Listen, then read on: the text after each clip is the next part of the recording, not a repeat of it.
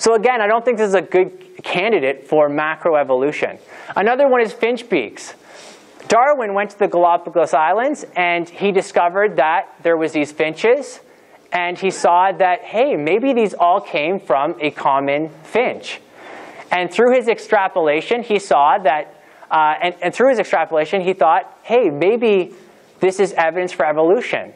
That in millions of years, these finches might evolve into something else.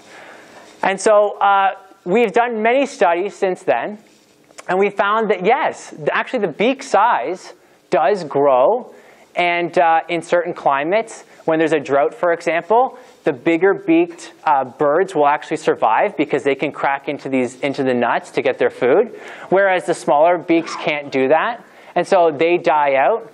And so there was a 5% increase in beak size. Some scientists found this. Very intriguing study, okay? And then they, uh, but then when the drought was, was gone and uh, actually the population went back. And so again, what's really gone on here?